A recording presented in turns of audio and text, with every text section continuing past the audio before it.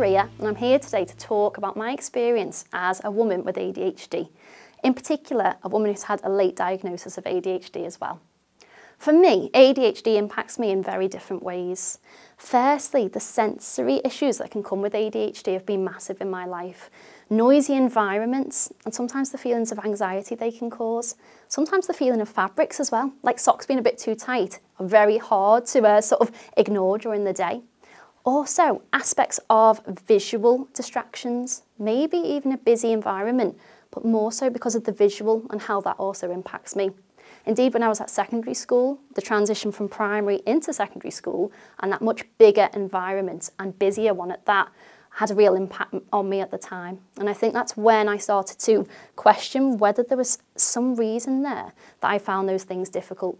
Again, when I was at secondary school though, these things weren't really talked about as much, especially not ADHD, and especially not ADHD in women.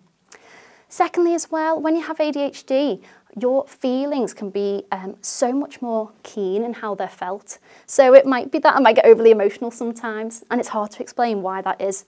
If there's a dog advert that's quite sad on TV, I'm probably going to well up at it. so where other people might not understand that, those emotions can be felt a lot st more strongly. Also, hyperactivity. Now, it's often thought that hyperactivity is a physical restlessness or need for movement. It's also a very mental thing. It's almost like having too many tabs open at once. And I've definitely struggled with that all through my life. And that can include overthinking, overplanning, um, and just struggling to switch off. And I think that's one of the major things for me in how um, ADHD has impacted me. Also, I'm quite an impatient person. I don't like to admit it, but I am. And, you know, if something's coming up, I'm really going to look forward to it. I want it to come even faster. Or, again, being in a traffic jam. It's not the easiest to cope with when you've got ADHD. But again, as life has gone on, there's been strategies for that, which I'll talk about a bit later on. Socially as well is an area that sometimes um, has impacted me in the past. Maybe questioning conversations. Oh, did I interrupt? Should I have said something different? And just feeling generally different to those around me has been quite tricky. And finally, the kind of need for stimulation. So if I am in a lesson, in, or I was in a lesson in secondary school that I really enjoyed, say history, great, you've got my focus.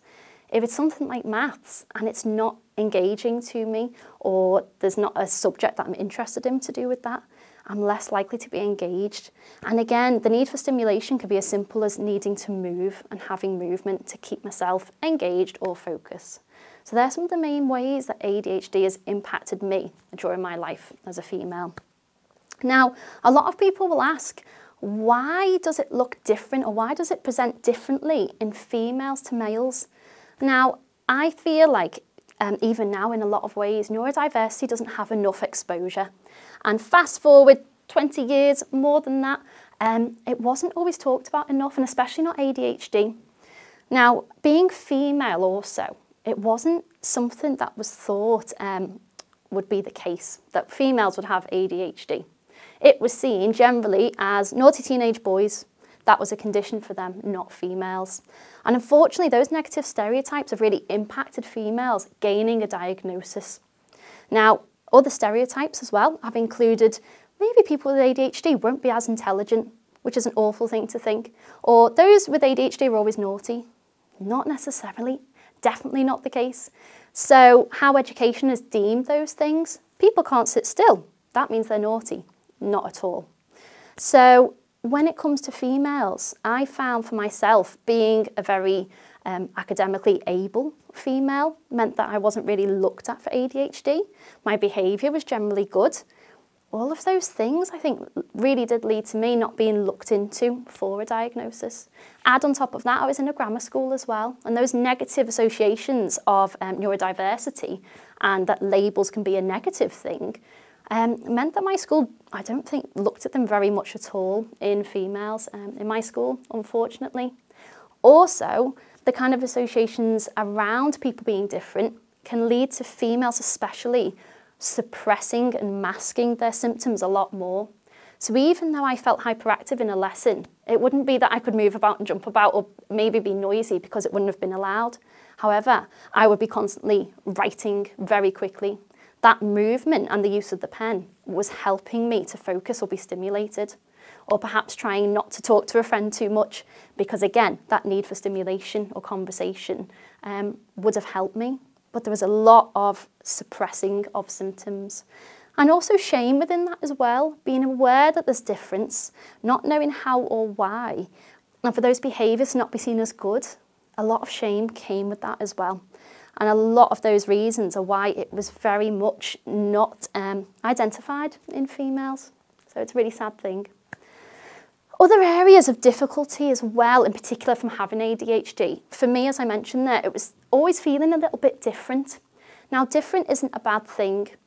Connotations of it as well can be feeling weird, not feeling normal, maybe even feeling stupid. Those feelings that get internalised because you don't really cope as well at certain things as others do are really difficult to um, hold on to and process. Equally, habits that I had that maybe people found annoying um, really impacted on me, especially when I couldn't help them. Things like whistling, needing to move, singing, talking a lot. Again, apologies if I'm talking very quickly now, but all those things that other people might have said to me, can you not do that? Can you just stop that? Can you just... They translated to me as bad habits. But actually that might have been elements of stimming or me regulating my system, allowing for movement, allowing for stimulation, and also the release of dopamine and good hormones from things like singing or moving that should have been allowed. Additionally, a lot of um, neurodiverse conditions, especially ADHD, can show signs of anxiety as well. So it has at times made me feel anxious. It might make me want to plan ahead. Again, the aspect of impatience definitely makes me want to plan ahead and look forward to things that are coming up as well. But that's there, and that inability to switch off can sometimes translate as anxiety. So that is another tricky thing. Also, there's a lot of stereotypes again around ADHD, and one of them is that we always have a lot of energy. Now, people with ADHD can struggle with fatigue. Absolutely. When your mind is constantly going and thinking about things, physically you need to move. Of course, we're going to experience fatigue, and that's been another difficulty for me. In addition as well, having a strong sense of justice or maybe being a little too honest has maybe, maybe have a few trip-ups as time's gone on. Um, and again, socially, that has impacted things, occasionally in the workplace as well. And finally, my comfort zone is very important to me, as it can be for neurotypicals. But those who are neurodiverse can find it very tricky to push ourselves out of it. Now, depending on the type of ADHD someone, someone has, if it's impulsive, maybe that's okay, and those new experiences are very thrilling and enjoyable. But for some, the comfort zone and what is in our control is really important to us, and it can make it harder to step out of it without being able to plan it enough. There are a lot of crossovers with ADHD and autism, for instance, um, and that's not always known about either. So it's really having a look at some of those areas of difficulty, but that's how they've presented for me. Now, as you can imagine, all of those difficulties or presentations have a huge impact on self-esteem. For me, as I said before, it's feeling different or weird.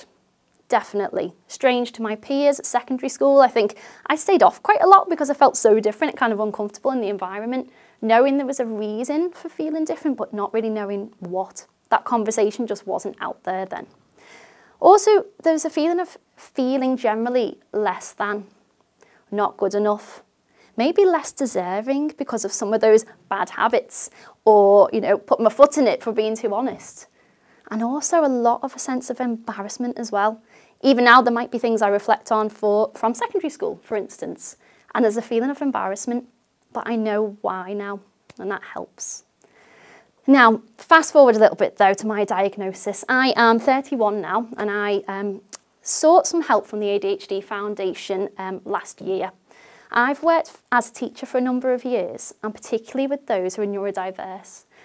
I got a really a, real affinity with some of the young people I worked with, and I really wanted to champion them.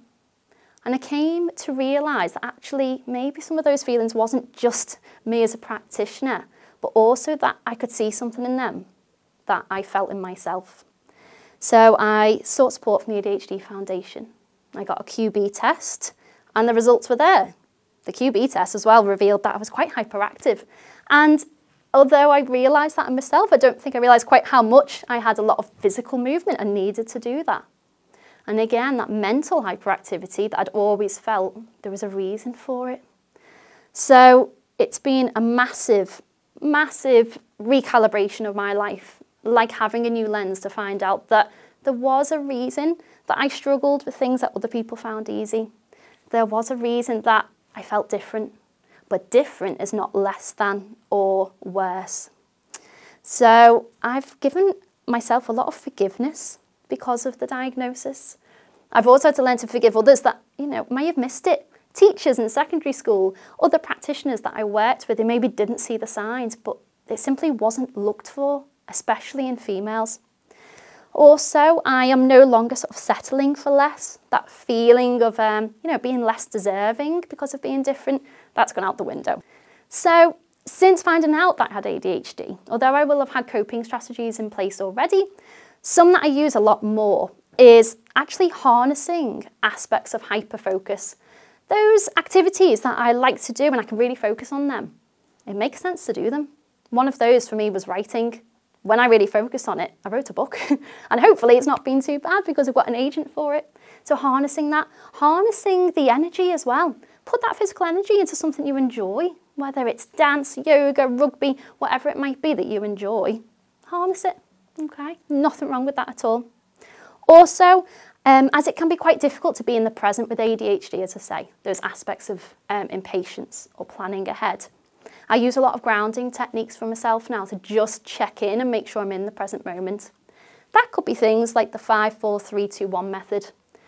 Five things you can see, four things you can physically feel, three things you can hear, two things you can smell, one thing you can taste. If you find that your mind's wandering, it just brings you right back into the environment you're in.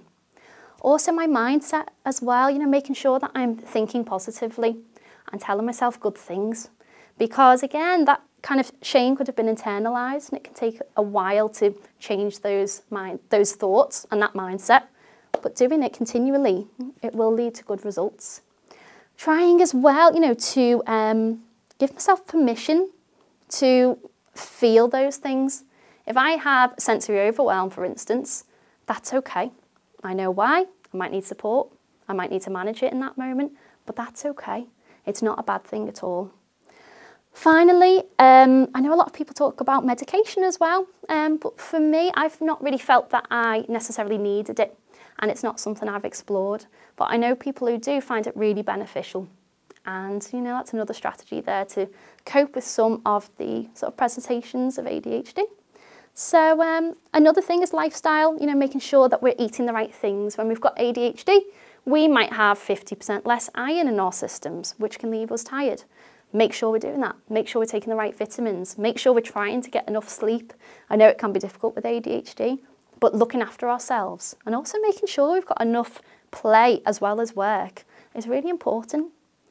And finally, just as um, a final point to round off um, this video, you know, my ADHD doesn't define me, but it's a part of me now. And knowing that has really helped me to have understanding and self-acceptance and finally to be true to who I am.